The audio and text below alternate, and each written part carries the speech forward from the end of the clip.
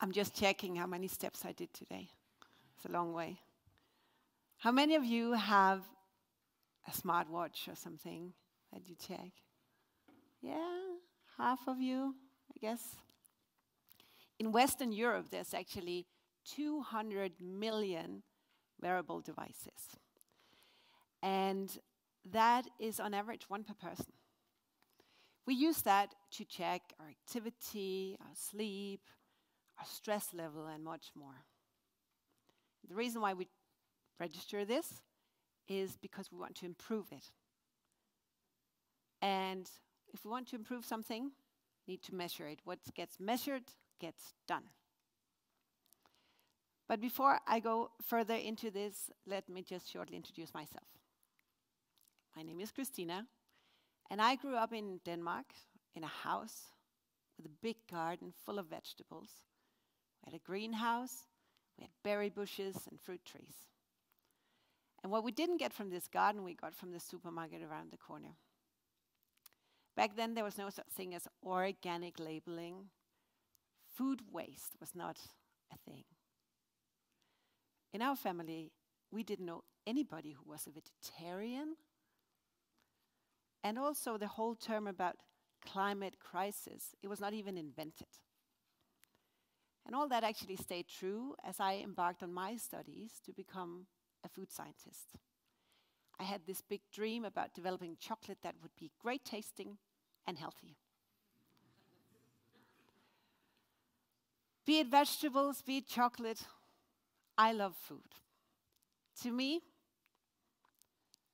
food is the best. Food is vital. It ensures that a little baby gets the nutrients to grow up and be a strong person.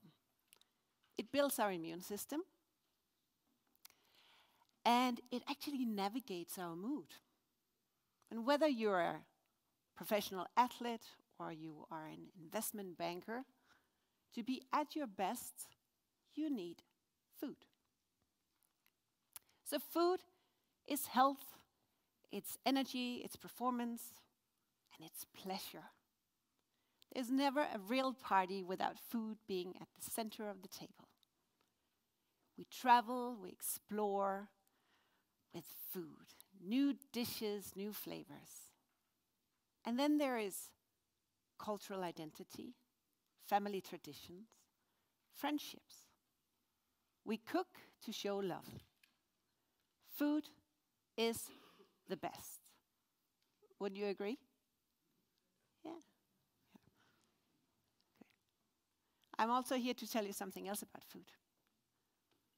Food is the worst. Yeah.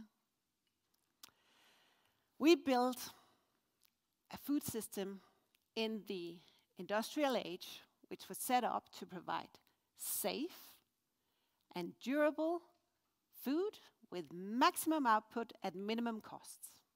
Yeah? And this food system that we have today, what we produce, where we produce it, how we produce it, how we transport it, process it, pack it, store it, cook it, eat it, waste it, our food system today is going to kill us. It's going to kill the planet. Second, after the energy sector, the food sector is the highest contributor to our climate change. Yay. No, not really. More than 30% of the greenhouse gas emission comes from the food system. And apart from that, we have the biodiversity laws, the laws of plants and animal species. You might know it from pictures of trees cut down in the Amazonas or the orangutan without a home. But we don't need to travel far. Here in Europe, we have lost 20% of our birds since the 80s. Yeah? So, while we today produce more food than ever, we also have hunger on the rise. Three billion people, almost half the planet, three billion people do not have access to safe and nutritious food on a daily basis. And of that, almost 1 billion people go to bed every night hungry. Not hungry like when we are hungry, they're starving. Yeah? So the paradox is that at the same time, 59% of adult Europeans are overweight or obese. Worldwide, 2 billion people. 2 billion people getting too much, 3 billion people not getting enough. And then, uh, to make it even more complex, we're throwing away one third of our food, of which the majority is still perfect conditions for being consumed. Okay, okay, okay, it's getting heavy, huh? The outlook, there must be something good coming there. Well, the outlook is that in 25 years, we will be 25% more people, approximately 10 billion people. We don't know how to feed the population today, humans of the planet Earth, within the planetary boundaries. Much less do we know how to do it in 25 years. But there's hope. Let me give you some good news here. The good news is we know what to do. We need to transform the food system as we know it today. The second piece of good news is we know how to do it. We need to unleash the technology, the innovation, the science that we have, and change the food system through that. We're now in the digital era where people work together and make this possible. So, um, because I had this dream about healthy chocolate, I joined a large global chocolate company after my studies. And I built a career. And then, nine years ago, when I became a mother, I stepped out of this career path and left the big chocolate company. And I started working with startups. And only then I started to understand sustainability and the problems in our food system, but also the opportunities within our food system. Now, I'll tell you for somebody who grew up in the industrial area and was educated and had a professional career, it was quite a mind shift suddenly to go from focusing on output to put sustainability first. But working with the startups, it helped me especially the ag tech and food tech startups, and I would like to share with you a few examples of how the future can look.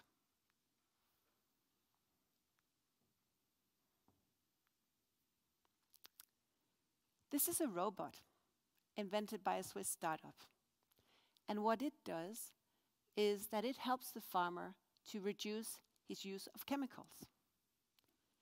With the help of image recognition, and AI, the robot identifies and with ultimate precision what each plant needs. Is it fertilizers or is it pesticides? So actually what it can do is that it can reduce the use of chemicals with 95%. This is good for our groundwater, it's good for the bees, it's good for us who eats the products, and it's good for the farmer because his yield gets higher and he's saving some costs here. Yeah? One very interesting thing about this technology is that if we were to roll that out all over the planet Earth, we would be able to reduce the global carbon emission by 0.5%. One technology. The next example is um, actually applied by a supermarket up in Norway. So when you check out with your shopping basket, you not only see what each item cost and the total expense, but you also see what was your carbon footprint of your shopping basket and the different items. What gets measured gets done. And what this supermarket experiences is that their shoppers are buying a lot more vegetables and reducing significantly on their meat shopping basket. A Swiss startup is doing something similar in the restaurant businesses, uh, where you can go in and see a gauge of the food that comes out in this restaurant, how that has impacted the world today, and how your plate impacts the world. Final example is another Swiss startup that has decided to combat food waste. What they do is in the restaurant catering businesses, put the bin on a scale, and above there is a camera. Through image recognition, together with machine learning, they identify what was wasted, thrown out that day. The manager gets a report when he can see what, how much, when, and why, and how much it actually costs the business. Their vision is to reduce the food waste of these restaurants by 60%. And my dream is that they will come up with a device that we can place in our homes so that I can look at my watch and understand my food waste and do better. Okay. I'm looking at my clock. When I'll finish talking, 12 minutes of your lives, my life has passed since I start talking. And in 12 minutes, the world has emitted another megaton CO2.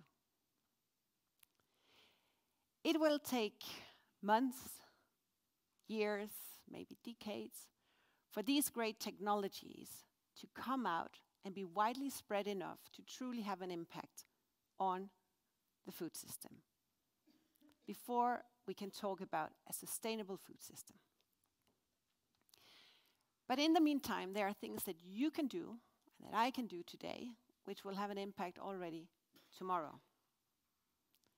First thing I'll encourage you to do is reflect what is your role professionally in the food system. Will you join a big food company and help them do better? Will you become an entrepreneur? Or will you invest in an entrepreneur trying to solve, a uh, startup trying to solve these problems? But also at home, make a challenge. Try and reduce your waste. Try and buy more organic, local, seasonal, maybe one meat free day a week, and get that reusable coffee cup and water bottle to go with you. Small things, but in the total, it makes a difference. It makes a difference what's on your plate. I would like to finish off with this quote We're the first generation to feel the impact of climate change, and the last generation that can do something about it. Thank you for listening.